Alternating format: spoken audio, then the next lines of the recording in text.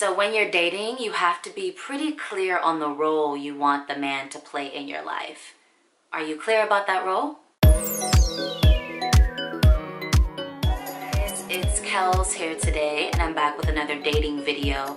This topic is a little bit touchy. I know I've been hitting on some touchy topics recently, but I would be totally remiss if I didn't bring this to the forefront because as I am going on my dating journey, things pop up in conversations with people, in conversations on dates, in conversations with my girlfriends, in person and online, and I always try to bring some of those conversations to the table with you guys. One of the biggest issues that I have been paying keen attention to recently is the role of a man as a provider and a protector.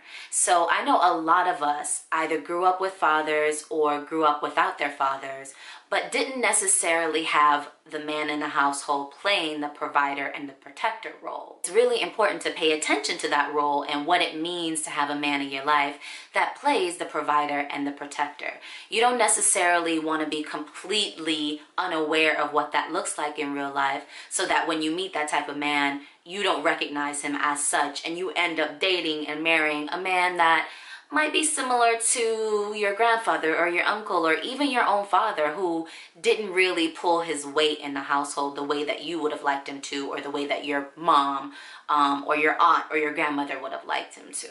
So what do we mean by provider and protector? Now that's something that you have to define for yourself if you even really want a provider and protector. Not every woman feels that they should have a man in their life that plays that role for them. Some women do feel that they should have a man in their life play that role and then the woman will play the complementary role, whatever that means to you.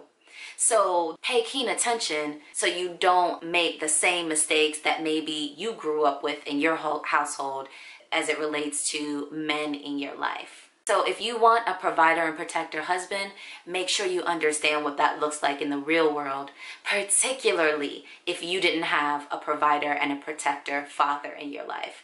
Because you may be inadvertently attracting men that are exactly like your father and that might be a good thing for some of us who had an amazing father, and that might be a not so good thing for some of us who had a below average father. So make that assessment. See how your father lined up to your standards for a husband, and make sure that when you're dating and when you're looking for a companion and a partner and a husband, that you're looking for the right things that align with your standards and not just what you experienced as a kid growing up in whatever household you grew up in.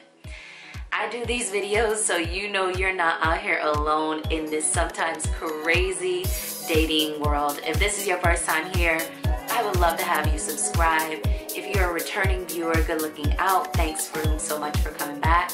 Leave your comments, questions below, hit that subscribe, and give me a thumbs up for this one. Thank you guys so much for watching.